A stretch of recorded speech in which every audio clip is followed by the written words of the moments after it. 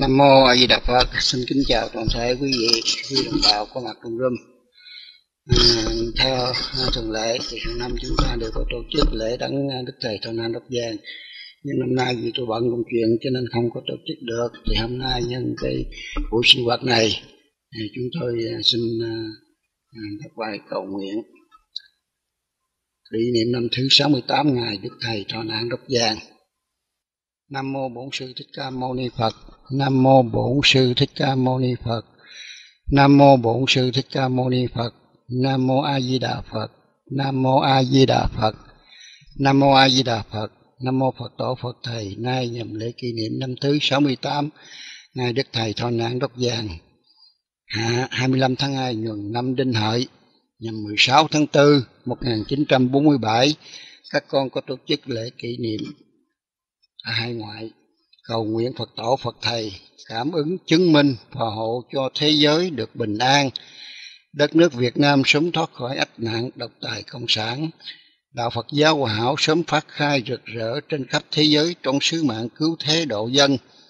Vận chuyển đức thầy sớm trở lại cứu vớt chúng sanh trong thời mạt pháp và phò hộ cho bá tánh vạn dân, cho toàn thể tín đồ Phật giáo hòa hảo được an vui nhiều phước đức kiên cố bồ đề tâm cho đến ngày đạo quả viên thành.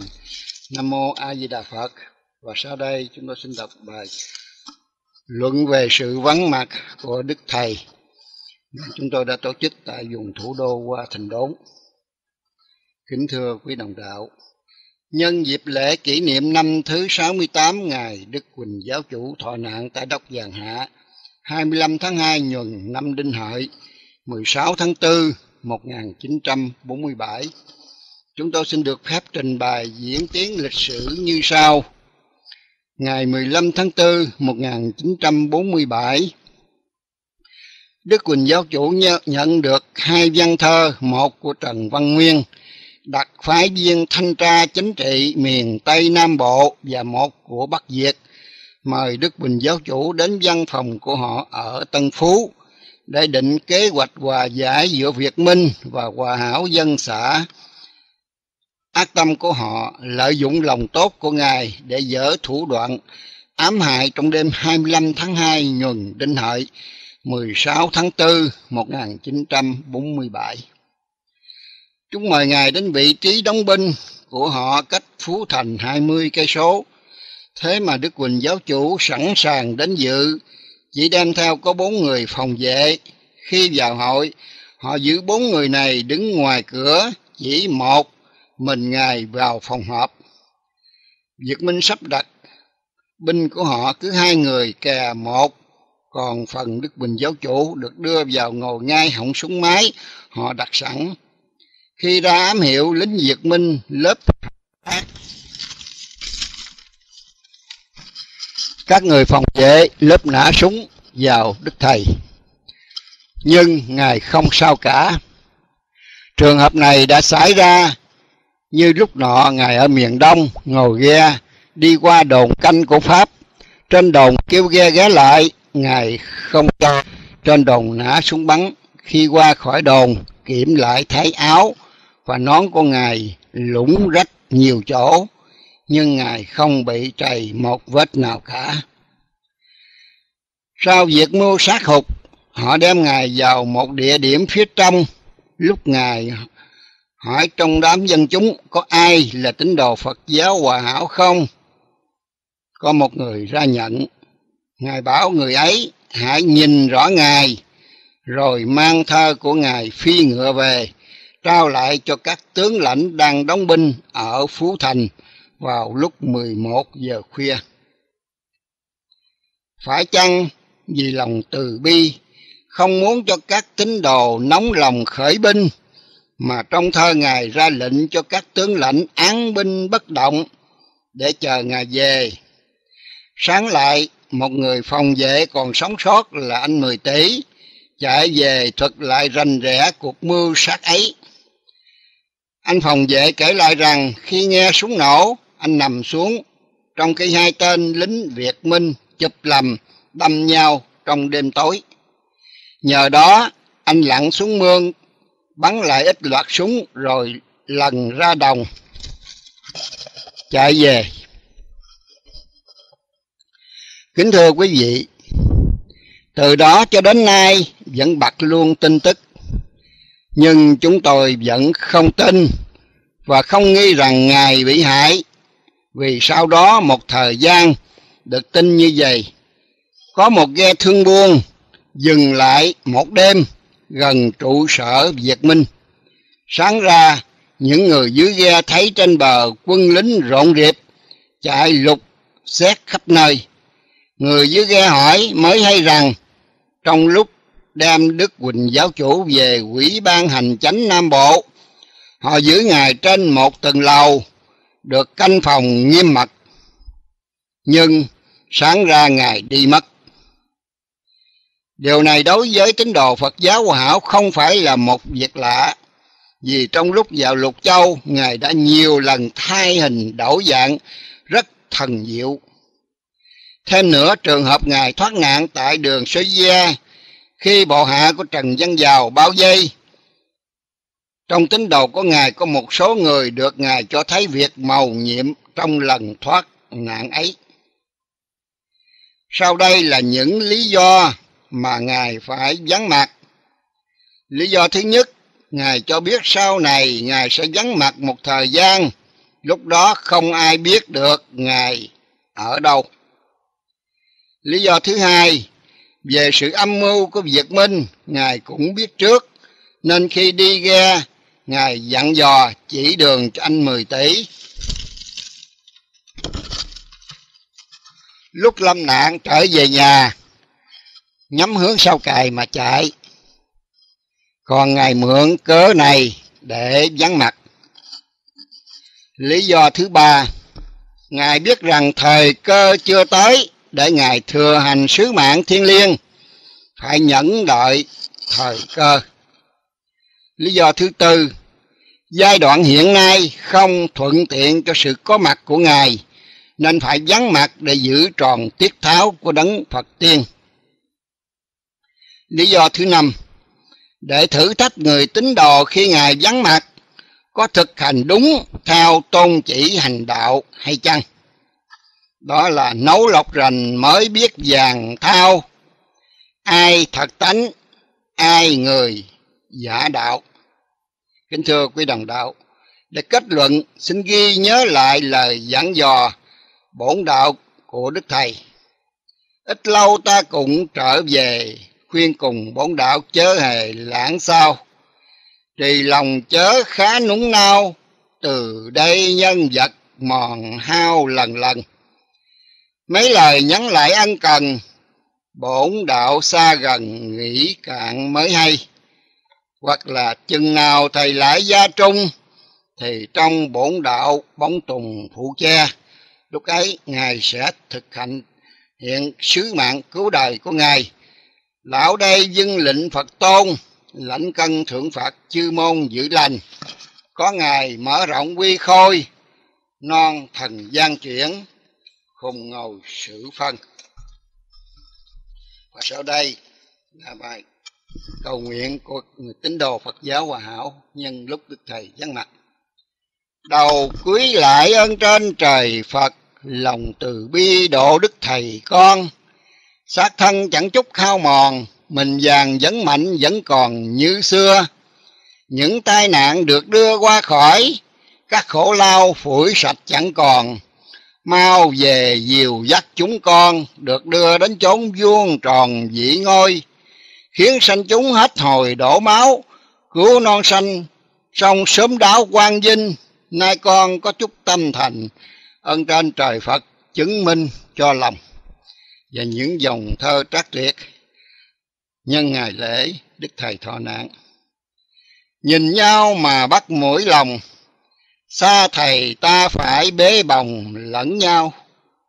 Nhìn nhau mà giọt lệ trào, trò đây thầy ở phương nào bạc tinh nhìn nhau mà bắt động tình, thân mình nó ấm, thầy mình ra sao? Nhìn nhau đau lại càng đau, xa thầy con trẻ khác nào mù vui thầy ôi, trở gót cứu con thơ lạc mẹ đàn gà luôn ngẩn ngơ. Còn thảm chi hơn nghe tiếng ó, cả đàn chiêu chích tở dò tơ. Thầy ơi trợ gót cứu con hiền, được khỏi lưới rào của tuổi phiên. Để có tự do đi đánh hội, ngõ hầu kính bái đấng thần tiên. Thầy đã về công giáo độ trần, nay còn mang nạn ở nơi thân lao đao đất khách đêm không ngủ, khổ sở quê người bữa biếng ăn. Ta rất đau lòng khi ngó nước, vui đâu dám tưởng lúc nhìn trăng.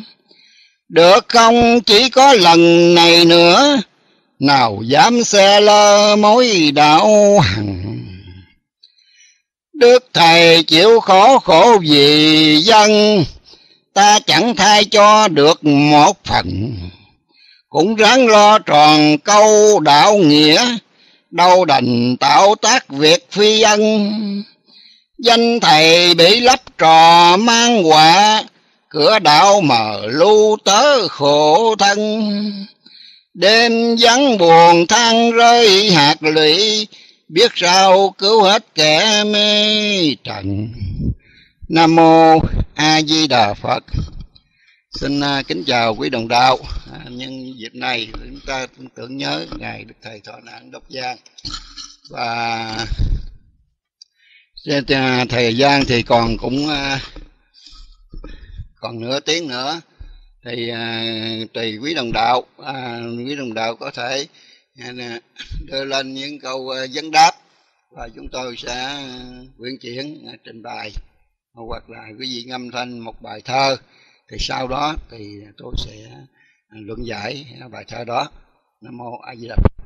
Thấy bàn tay của phú lâm mời phú lâm à, à, có ý kiến. Dạ Nam Mô Bổn Sư Thích Ca Mâu Ni Phật. Nam Mô A Di Đà Phật.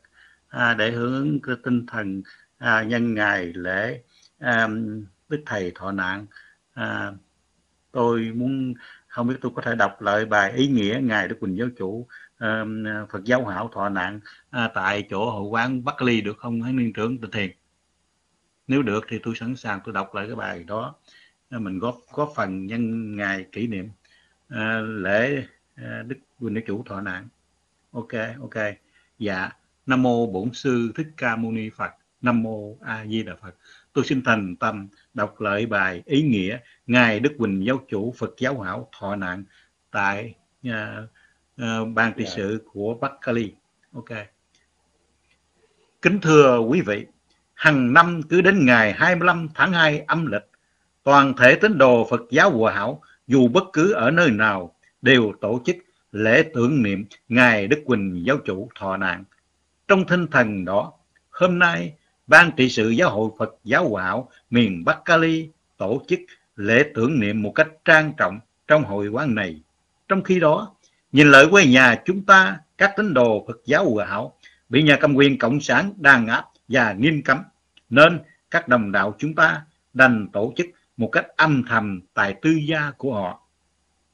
Kính thưa quý vị, ngày 25 tháng 2 nhuần năm Đinh Hợi, nhằm ngày 16 tháng 4 năm 1947, Đức Quỳnh giáo chủ nhận lời mời của Việt Minh đến dự hội để giải quyết những xung đột giữa Việt Minh và tín đồ Phật giáo hảo nhằm hòa giải những vụ xô sát lẫn nhau, làm suy yếu tinh thần đoàn kết dân tộc trong cuộc đấu tranh giải phóng đất nước, thoát khỏi ách cai trị của ngoại bang xâm lăng. Sự bất hòa ấy chỉ làm lợi cho bọn thực dân Pháp mà thôi. Để đáp lại tinh thần cao cả, từ bi bác ái của vị giáo chủ một tôn giáo, dẹp bỏ hết mọi thù riêng để lo việc chung cho đất nước, sẵn sàng đến dự hội cùng họ, thì ngay trong đêm đó, họ ra tay ám hại Ngài trong phòng ngay trong phòng hội. Ngài đã vắng mặt, kể từ ấy đến nay, đã tròn 68 năm. Kính thưa quý vị, trước thủ đoạn mang trả trên, toàn thể tín đồ Phật giáo hảo tuyệt đối tin tưởng rằng bọn Việt Minh không thể nào sát hại Ngài được. Ngài không thể chết. Ngài chỉ chọn cớ để ẩn mặt mà thôi. Vậy, người tín đồ Phật giáo hảo dựa vào đâu mà họ giữ vững niềm tin và khẳng định rằng Ngài Đức Quỳnh giáo chủ vẫn còn sống và sẽ trở lại. Thưa quý vị, lần dở quyển sấm giảng thi văn giáo lý của Ngài mà chuyên chủ nghĩ suy từ nét dấu, ta thấy được Ngài xác quyết rằng Ngài từ đâu đến. Bồng lai điên dại có ngôi, Tây phương cực lạc khùng ngồi tòa sen. Và ta thừa vương xác lệnh Thế Tôn, khắp hạ giải truyền khai đạo Pháp. Với sát thân, thoát dòng cương tỏa, Pháp thân nhẹ nhàng. Vậy Pháp thân là gì? Thưa quý vị, theo Kinh Niết Bàn, Pháp thân là bản thể của chư Phật, dùng cái Pháp tánh thường trụ, chẳng biến đổi để làm thân. Đó là chân thân của vạn Pháp.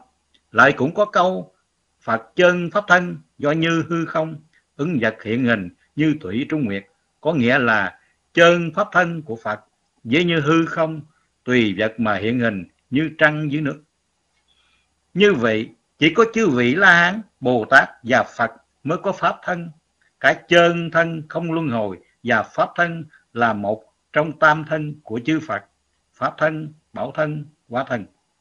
Thưa quý vị, chúng ta được Ngài cho biết lúc đi dạo lục châu hay để chân đất tắc, để giáo dân, Ngài đã từng hóa ra thân ra lúc già lúc trẻ, khi già lúc lợi trẻ thơ, giả quê giả dốt khắp trong thị thiền, hoặc giả người bán cả bằng nái, dân chúng Ngài rài sớm lợi mua đông và Ngài còn biến mất lên bờ liền giả cùi đuôi.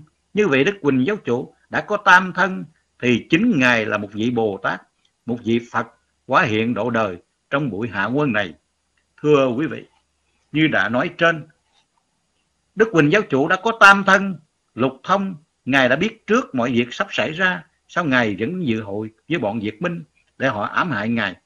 Ta hãy lắng nghe Ngài cho biết, tạm đây ta mắc lui hài, vì trên bệ ngọc triệu rài hồi quy, cho nên rưng rưng nước mắt hai hàng, lánh xa quả tục Phật đàn lui chân. Hay là nay thầy chịu lệnh về Tây, tạm ngưng đạo đức ít ngày thầy qua, nên ngài xa cách tín đồ, thấy trong ba tánh ngẩn ngơ, nay thầy xa tớ bơ vơ một mình. Cảnh tớ thầy xa cách cũng để nói lên sự thử thách, tấm lòng trung kiên, hành đạo, tu tâm dưỡng tánh của tín đồ ngài mà ngài đã dặn dò từ nay cách biệt xa ngàn, ai người tâm đạo, đừng toán phụ thầy. Giữa trần đờn nở đứt dây, giữa vui buổi hiệp, bỗng thầy lợi xa. Và phải kiên trì, tu kiếp kiếp, nếu không quá trễ, chừng đổi đầu khó kiểm điên khùng. Kính thưa quý vị, sự vắng mặt của Ngài là một thiên mệnh, là một thử thách cho người tín đồ Phật giáo hảo. Vậy Ngài đã hết nhiệm vụ chưa? Ngài có trở lại không? Ta hãy lắng nghe Ngài thố lộ với ông Út, bà Út qua mẫu chuyện bên thầy do bà út kể. Sau này có thời gian tôi sao vắng tín đồ tôi, không một ai biết tôi ở đâu mà tìm, làm cho tín đồ tôi phải buồn tủi lắm. Nhưng đó chẳng qua là cơn thử thách thôi. Rồi Đức Thầy nói tiếp, ông Út bà Út biết không, lần trước họ bắt tôi, tôi không cho họ bắt, nhưng lần sau tôi đến cho họ bắt. Lúc đó tôi dùng quá thân cho họ bắt tôi, từ đó làm cho tôi sao vẫn tín đồ luôn. Ông Út liền hỏi, rồi thầy về không thầy? Đức thầy đáp, về chứ, nhưng ông nên nhớ là tôi sẽ về với nguyên sắc cũ. Nghĩa là đi sao về vậy, chứ không có gì thay đổi hết. Qua mẫu chuyện kể trên, ta thấy Ngài cho biết, muôn thu thiên định nhất kỳ, hạ quân xác lệnh khai kỳ lóng qua, và Ngài còn phải thi hành nhiệm vụ. Phật Dương Đà chỉ rõ máy diệu quyền, chuyển lập hội long qua, chọn những đấng tu hành cao công quả, để ban cho xứng vị xứng ngôi đủ các thiện căn để giáo truyền đại đạo định ngôi phân thứ gây cuộc hòa bình cho vạn quốc chư ba ban hoặc là lão đây vân lệnh phật tôn lãnh cân thưởng phạt chư môn giữ lầm nên ngài đã nhắn nhủ ráng nghe lời dạy của thầy và phải giảng kinh đọc tụng chiều mai làm theo lời chỉ ngày rày gặp ta để khi chừng nào thầy lợi gia trung thì xong bổn đạo bóng tùng phủ xe vì từ nay cửa khổng gài then, chờ ta trở lại thì đèn hết luôn. Và ít lâu ta cũng trở về, khuyên cùng bổn đạo, chớ hề lãng sao. Kính thưa quý vị, những dẫn chứng chúng tôi vừa nêu trên qua sấm giảng thi văn giáo lý của Đức Quỳnh giáo chủ thì chính Ngài là một vị Phật quá hiện độ đời, không ai có thể hại Ngài được.